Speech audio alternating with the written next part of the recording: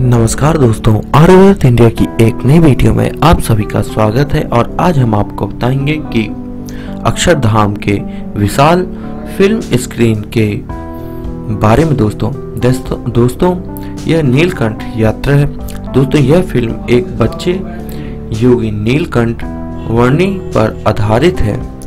इस स्क्रीन में छह से अधिक कहानियों पर बनी फ़िल्मों को दिखाया जाता है। तो उम्मीद है दोस्तों, आपको दी गई जानकारी पसंद आई होगी। यदि आप हमारी यह वीडियो यूट्यूब पर देख रहे हैं तो चैनल को सब्सक्राइब कीजिए। और यदि आप हमारी यह वीडियो फेसबुक में देख रहे हैं तो पेज को लाइक कीजिए। धन्यवाद।